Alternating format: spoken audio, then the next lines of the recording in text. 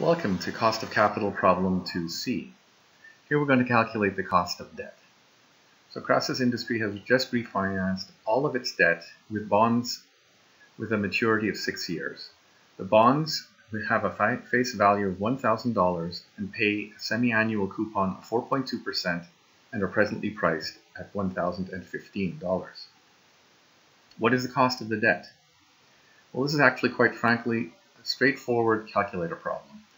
There's not really any calculation to do. It's really, again, uh, you need to make sure you're labeling correctly. So first things first, though, you should notice semi-annual coupons are involved here, and that's going to change your inputs. So first of all, we look at the maturity, which is six years.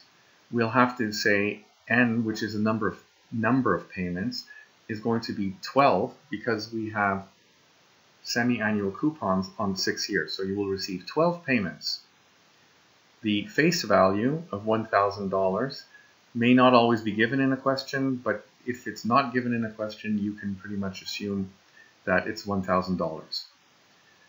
Now with the semi-annual coupon, which is 4.2%, that translates to a payment which is 4.2% of a thousand, the face value, not to just to be clear, not the price. Uh, but you divide it by two because you'll be receiving $21 twice a year, not $42 once a year. And lastly, we have the price, which is the present value. And I wrote 1015, negative 1015, because that's the kind of input you need for your calculator. It will either give you a, uh, it will either not be able to calculate or it will give you a wrong value. So just be careful about that. Then all you do is enter the values in the calculator. You will get an answer of I equals 1.96%. That's the, that's the return or the yield.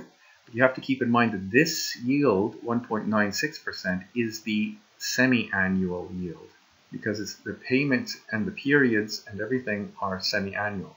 So that's your semi-annual yield. You have to multiply that by 2 and then you get the return to debt or the required return on this debt which is 3.92%. That's all there is.